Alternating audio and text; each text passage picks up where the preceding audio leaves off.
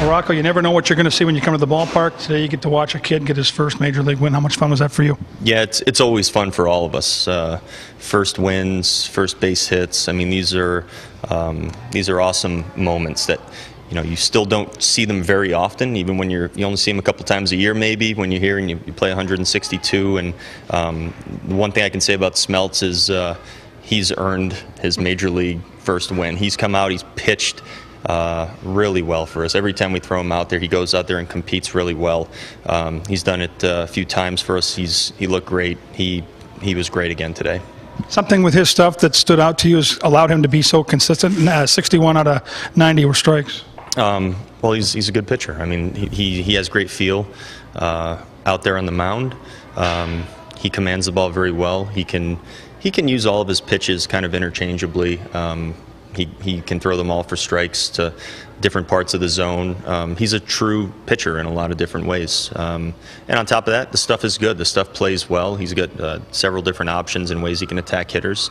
Um, and I think he's a, he's a pretty intellectual guy on the mound uh, with how he goes about his business the defense behind all the pitchers today also stood out as a big factor in a game where runs are hard to come by. Yeah, we made several. Play- we, played a. This was a good ball game. Um, it was you know a, a, different type of ball game than you know we played uh, earlier in the series, but um, a, a, day where we, we had to come up and make plays and we had to execute and we had to pitch well and do all of those things because as we've seen from this Royals team, um, they play they play us and they play they play us very tough. Um, you know they will they will beat you if you don't execute. They will beat you. Um, and you know they've been impressive in a lot of ways throughout the year. So we knew we had to come and do it, and, and we did it today. I felt like Arraez showed good baseball IQ on that roller to Dozier.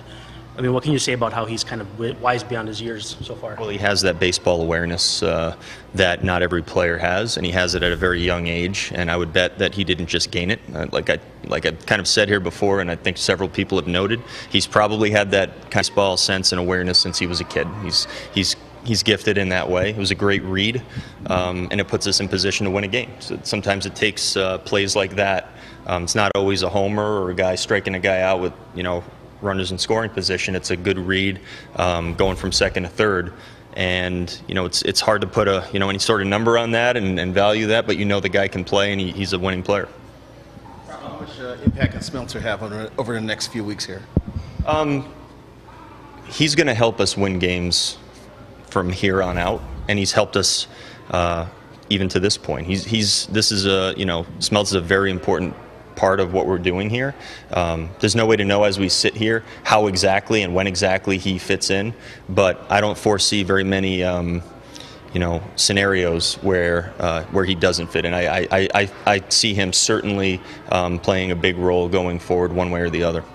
You mentioned this weekend how you guys were able to win in multiple ways, scoring a lot of runs, games like today with defense.